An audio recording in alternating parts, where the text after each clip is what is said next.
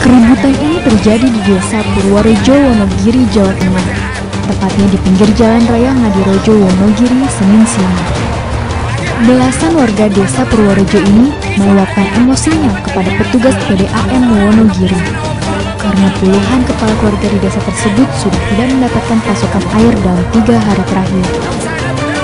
Seorang warga bahkan sempat mengancam petugas dengan golok saat petugas PDAM mencoba memberikan penjelasan. Warga menduga macetnya pasokan air PDAM tersebut terjadi karena pipa air yang seharusnya mengalir air ke desa mereka justru dialihkan ke desa lain. Warga tidak terima dengan pengalian air tersebut karena saluran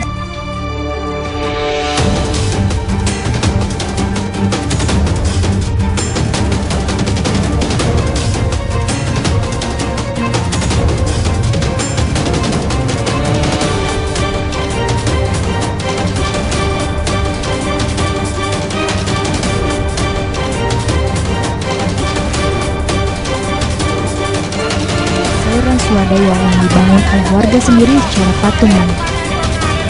Warga bahkan nekat membongkar saluran PDAM untuk membuktikan pengalian aliran air tersebut. Sementara petugas PDAM sendiri berkilah, macetnya pasokan air ke desa Purworejo terjadi karena kebocoran saluran.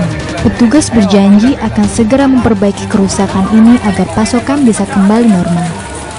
Dari Wonogiri, Andi Kurniawan melaporkan.